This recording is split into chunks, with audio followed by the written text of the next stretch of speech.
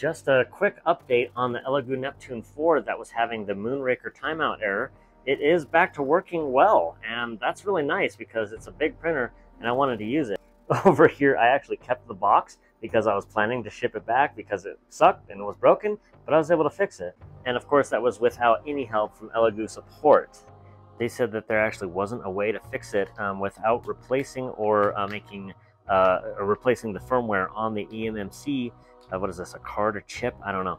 Um, and they did send me a new one, but I didn't go that route. As you can see, this is still in the package. So after a bit of alcohol and uh, some messing with it, I was able to SSH into it, upgrade the version of Java, reinstall uh, Klipper mainsail instead of Fluidd, as well as um, as well as Moonraker, and actually make a few changes there. And uh, it seemed to, with um, I think there was the permission script fix and some other changes, I was able to get it working again. I also put this iPad up here because it helps me do some things that you can't do on the screen, of course, like view the wonky bed, which is not quite perfect. See, there's some variance there, but at least you can do this on it and you can calibrate that as well as doing like the probe calibration and the screws tilt calculate where it tells you like how far you need to screw these so that you can have as flat a bed as it's going to give you. But yeah, it does work now and that is pretty dang nice. So basically, this is quickly what I did to fix it. I just like turned it on and off again until I could finally get to the WLAN uh, page so that I could connect to the Wi-Fi. Once I connected to the Wi-Fi, then I can SSH into it from the computer, which is basically remotely accessing it so that I can work on it.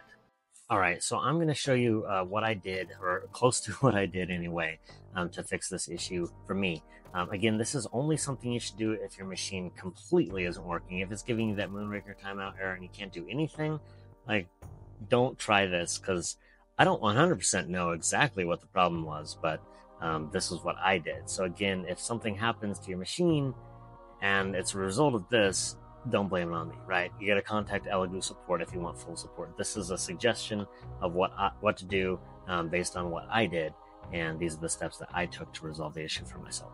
Um, so, uh, beyond that, let's let's jump into it, and I can show you what I did. So, taking the IP address that you got off the machine, you should be able to SSH from a computer um, over to that device, as long as it's on your Wi-Fi, uh, uh, over to that machine.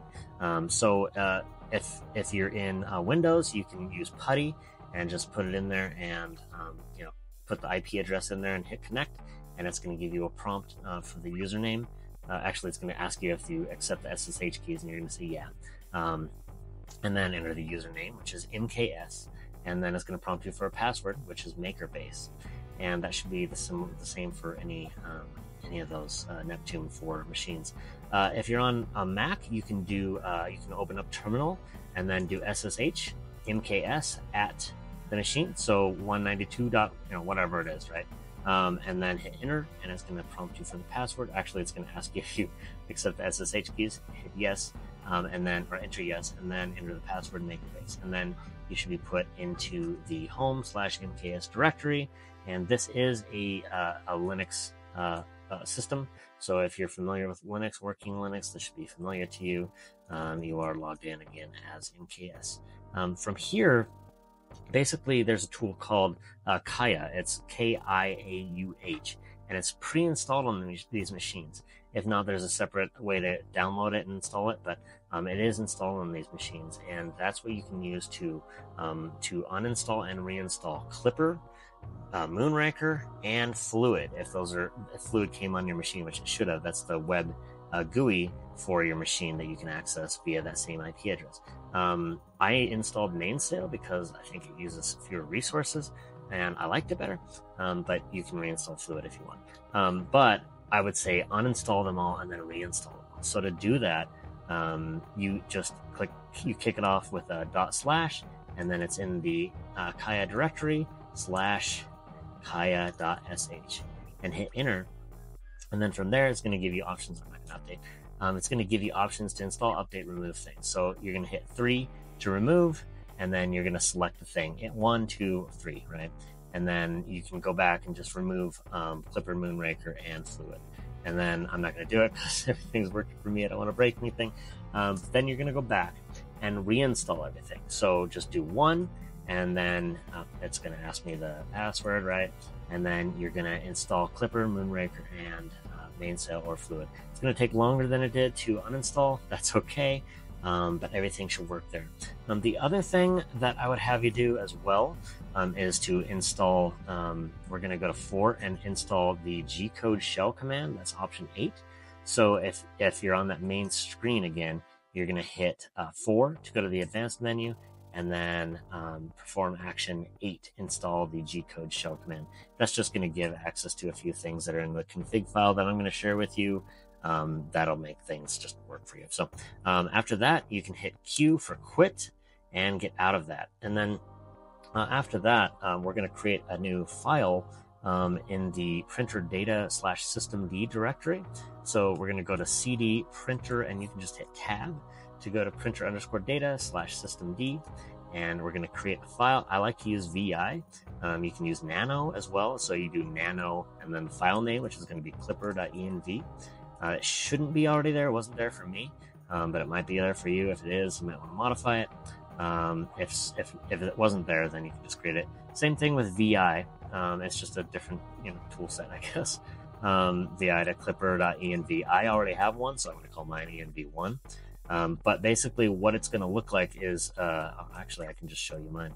Um, it's going to look like this. It's going to have these arguments, and one of them is basically to point the right uh, directory for this klippy.py, which is a, a, a, Python script. I don't know. Um, that is going to point uh, to Klippy, which basically is the thing that connects uh, Moonraker to Klipper, I believe. And that's what makes your um, machine work. And so when you're starting it up, and it says Moonraker timeout, that means it can't connect to Moonraker. Klipper can't connect to Moonraker, and I think that's part of the problem. Um, there's probably some other stuff missing too, but um, that's why we reinstalled everything. Um, it's also going to point to this printer.cfg file, which is all your configurations settings for your printer. That's like when you go to settings and make changes, that updates the printer.cfg file. And then um, some other stuff here as well. Um, it's going to point to the right uh, path for that Klippy also. So I'm going to put this in the description. Just just paste this in here, and then um, to get out of um, to get out of VI, you can do Shift and then do enter a colon, right, and then hit Q, and then hit Enter. And if you made any changes, it's going to ask you if you want to, right? And just say yeah, um, and enter. If it's Nano, um, I think it's like Command X or Control X to get to exit, and then it's going to say if ask if you want to overwrite it or write it, and you just hit Y, and then you have your file created. And you can actually look to see if you have your file created by doing ls klipper, and then you can do you can do like less uh, klipper.env and see what's in there, and hit Q to exit that. That's fine. Or you can do clip cat klipper.env and show it that way too. So um, that should be there. And then the other thing that we're going to do is we're going to replace uh, the moonraker.cfg or moonraker.conf, uh, printer.cfg, and um, and uh, plr.cfg. But we can do that actually from the uh, Mainsail interface.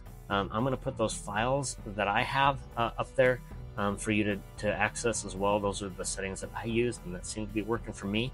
Um, it just gives um, everything that you need, and it should be pointed in the right direction, basically, for everything so um, you can either do that, you know, you can, if you're in here and you want to do that, it's in the printer data uh, slash config directory. And those files are here, moonraker.conf, plr.cfg, and printer.cfg. Um, you can certainly, you know, VI those files or nano them or whatever, edit them here if you'd like. Um, again, uh, after this though, you're going to just restart. So I would do like sudo reboot now, or um, I think you can even do sudo restart and it'll do the same thing. And that'll restart your printer and it should come up. It shouldn't give you that Moonraker um, timeout error. Hopefully that works for you because um, again, it did work for me. Um, and then you can go uh, just in a browser, go to that same IP address. It should load mainsail or fluidd. And then in mainsail, you go to machine and edit that. You can see that file. You can click into it and edit it, paste the values in there.